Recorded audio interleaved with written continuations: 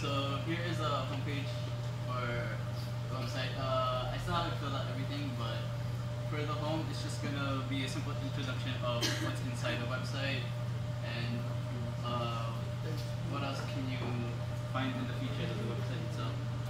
Um, here's the about me page. Uh, it's a picture of me and a brief, brief description, and then you can't really see it, but here are my skill set. This is like Java, I think.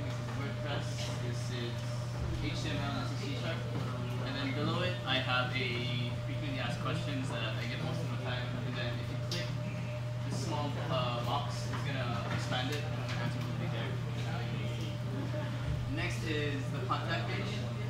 Here uh, I showed that you can't really send straight away like what you want to contact me about. You have to actually uh, fill in every text box that it uh, has.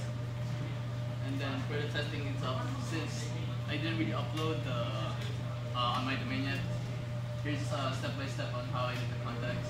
So as you see at the first top, um, it's still only populated by this one. That's just a test I did uh, last night. And then once you fill in the contact form, you'll get uh, a confirmation that the form has been submitted. It's going to send to your email that uh, it has been already accepted. And then here at the bottom, you can see the contact that you placed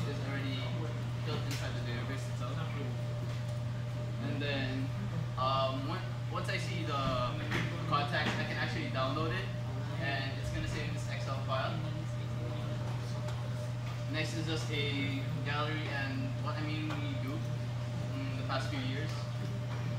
And and my portfolio hasn't really been